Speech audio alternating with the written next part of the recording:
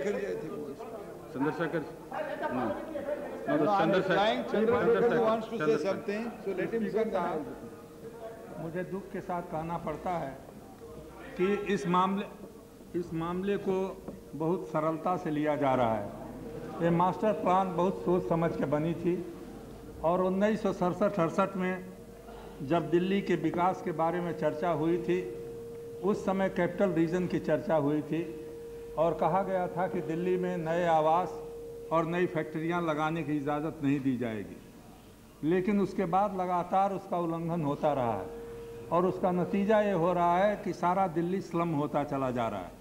यहाँ के दिल्ली के बासी ज़्यादा जानते हैं और मदन लाल खुराना खुद बता चुके हैं कि दस हज़ार लोग रोज़ बाहर से दिल्ली में आते हैं और इन्हीं झुग्गी झोपड़ियों में और इन्हीं बस्तियों में जा कर के बसते हैं। तो ये सुप्रीम कोर्ट की बहुत से बातों से मैं सहमत नहीं होता हूँ।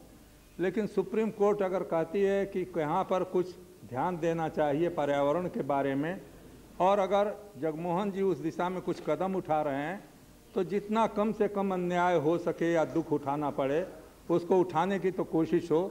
लेकिन इसको हम लोग एक दूसरे पर कीचड़ उछालने का काम करें, ये सही नहीं है।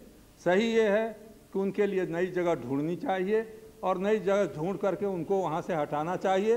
इसमें सुप्रीम कोर्ट की निंदा करना और जगमोहन की निंदा करना एक राजनीतिक तात्कालिक फ़ायदे की भावना से हो सकता है। दूरगामी परिणाम से इस देश की और इस राजधानी के लिए नहीं हो सकता।